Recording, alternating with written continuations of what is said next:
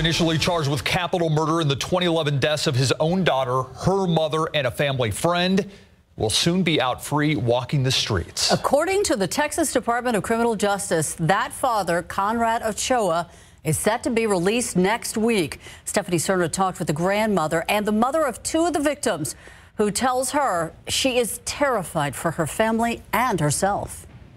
Well, Ursula, on February 21st, a parole panel approved Conrad David Ochoa for discretionary mandatory release. Today, a spokesman with the Texas Department of Criminal Justice tells us Ochoa is set to be released from a unit in Huntsville on March 7th. Now, we talked to Susie Bianchi Peters this afternoon. She is the mother and grandmother of two of the three victims. She told us that she got a letter last week that stated Conrad Ochoa would be getting out. She says she's frightened and she's seeking a protective order. I'm mortified that he's going to be on the streets. I'm not sure what other measures will be in place to um, keep him from continuing what he has done and has been convicted of and what he's suspected of. Conrad Ochoa, along with his brother Baron Ochoa, were initially charged with capital murder in the deaths of Conrad's daughter Sammy, her mother, and a family friend.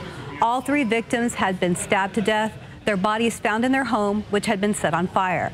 Conrad Ochoa took a plea deal on the child pornography charge, which called for a 10-year prison sentence. However, the special prosecutor in the case said because the capital murder charges were dismissed without prejudice, if new evidence is brought forward, the brothers could be reindicted.